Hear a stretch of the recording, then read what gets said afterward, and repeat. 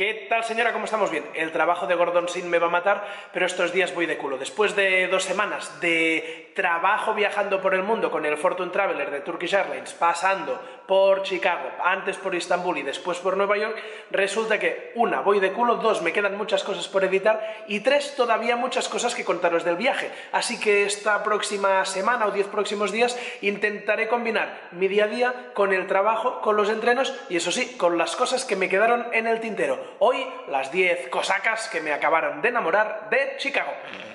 Pues nada, ya estamos en el taxi camino de Nueva York para acabar la acción de Fortune Traveler con Turkish Airlines. Bueno, ya sé que me diréis que soy un desastre y probablemente lo sea, pero mientras estoy en el taxi yendo hacia el aeropuerto, eh, lloviendo, eh, para ir de Chicago hasta Nueva York, eh, ha llegado el momento de hacer el vídeo de los 10 motivos por los cuales volvería a Chicago o por los cuales os recomendaría que vosotros fuerais. ¿Qué dirás? ¿Por qué no lo has hecho en cada uno de estos lugares o sitios o cosas que vas a comentar?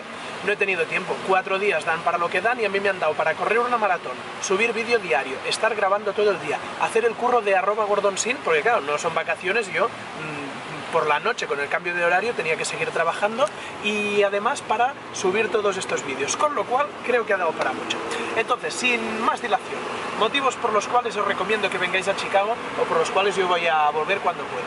Los tres primeros están relacionados con el deporte. Punto número uno, por la maratón. No solo porque la haya corrido, porque sea llana, porque se puede hacer tiempo, porque la haya disfrutado, sino por cómo la gente de aquí la venera. Tú llegas al aeropuerto y lo primero que te encuentras es a los tíos ahí en extranjería preguntándote, ¿no va a venir usted por la maratón? Sí, ¡ay, madre mía, que vaya muy bien! Acabas la maratón y lo primero que te preguntan al acabar, pero todo el mundo ve por la calle, ¿está bien cómo ha ido?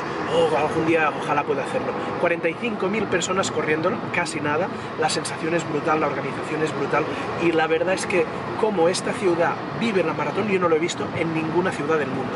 Tampoco he hecho muchas maratones, pero ni en Ámsterdam, ni en Barcelona, ni en Madrid, en ningún sitio he visto una cosa así. Tengo ganas de ver la de, la de Nueva York, pero me imagino que por ahí irá la cosa. Es decir, esta ciudad venera los corredores, venera la maratón y tiene una especie de aprecio, estima e inspiración hacia esto que la verdad es que es para pensarse. Punto número dos, las bicis. La ciudad es muy llana, es una de estas ciudades eh, que de lado a lado es llanísima, incluso de arriba abajo, con lo cual te la puedes hacer en bici o en longboard. Ves muchas bicis eh, paseando por la calle, además hay unos carriles bici que van al lado de la bahía, eso sí, pero que son muy chulos, con lo cual te la puedes cruzar muy bien. Entre los coches ya es más difícil, pero además es una ciudad que yo la veo para venir aquí en longboard, ¿eh? es decir, la típica ciudad que te pones a patinarla y no te la acabas. Además, cuando vas por la calle, ves que hay muchas bicis caras, además caras, buenas, bonitas, fixis, bicis de carretera, etcétera, aparcadas en la calle, ahí atadas, ¿Qué dices, esta bici en Barcelona o en Madrid va a durar dos telediarios. Eso quiere decir que a priori las bicis tampoco te la roban,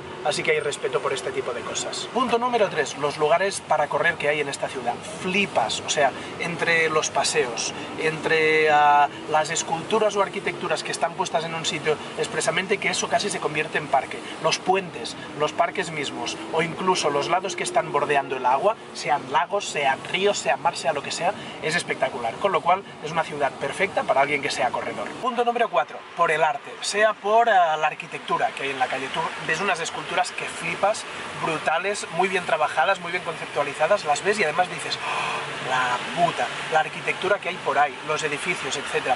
Y luego aparte de esto, los museos. Sean museos de arte contemporáneo, sean museos de algo más clásico, sean museos que tiren hacia vanguardias, la verdad es que la cosa está muy, buen, muy bien resuelta. Y evidentemente por los teatros, teatros para ver teatro y teatros para ver musicales. La verdad es que en esto eh, Chicago se queda, vamos, más que largo. Punto número 5, y ojo que aquí igual nos discutimos o hay controversia, ya me gustaría. Em, muchas veces tiramos del tópico que en Estados Unidos se come como y que es imposible comer sano y que aquí todo Dios está gordo. Bien, perfecto cada uno aquí que tenga el tópico que quiera en la cabeza. Yo tampoco me las voy a dar de viajado por Estados Unidos, he estado en cuatro estados, he estado en Ohio, he estado en Utah, he estado aquí en Illinois y luego en Nueva York ciudad, que eso ya en sí mismo es como un estado. Entonces en las grandes ciudades de estos estados, he estado en Salt Lake City, he estado aquí en Chicago, he estado en Nueva York y he estado en Columbus. Pues en estas grandes ciudades de estos estados ah, te das cuenta que por poco que rebusques un poco en 7-Elevens, en uh, resta eh, restaurantes, perdón, en supermercados de 24 horas, en delis, etcétera, puedes llegar a encontrar cosas que no encontrarías en grandes ciudades seguramente europeas o españolas o catalanas en este caso. ¿eh? Yo muchas de las cosas que encuentras aquí como fruta picada, como zumos en todos los lugares, como naturales, ¿eh? como uh, comida orgánica, como carne eh, criada en unos... Bueno, todas estas cosas aquí las encuentras muy fácilmente por poco que rebusques, seguramente porque hay mucha oferta, pero son cosas que no encontrarías, por ejemplo, en otras grandes ciudades. Punto número 6, porque es una ciudad donde viviría. Evidentemente vendría como turista otra vez, pero para vivir sin duda.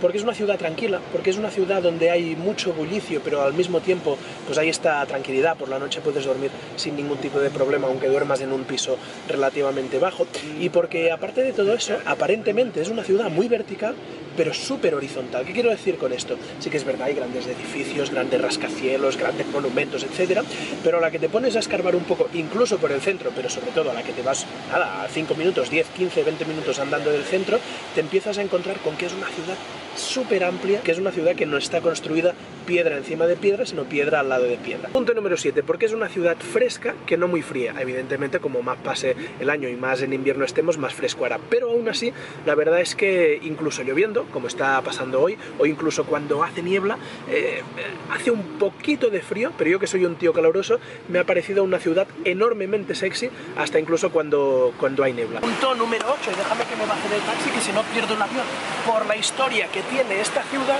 y que viene resumida en películas que todos hemos visto en el cine, en la tele o en cualquier sitio. Thank you very much.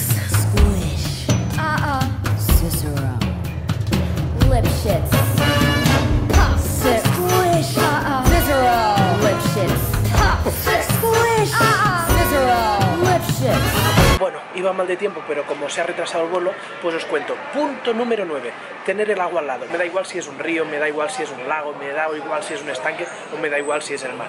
Resulta que en Chicago lo tienes todo, tienes hasta calitas pequeñas preciosas brutales por las que puedes correr, bañarte, tomar el sol si vienes en verano, uh, lago, río, eh, de todo, de todo. Y justamente además me pusieron un hotel que tenía piscinica, o sea que agua para verla, para nadar en ella o para hacer lo que haga falta. Venga, mientras esperamos a editar vídeos, en esto se ha convertido mi vida, en grabar vídeos, volar y mientras espero el vuelo, editar los vídeos. No sé cómo lo hago, pero aquí hasta el pasillo de embarque al avión se parece al resplandor, tú. Punto número 10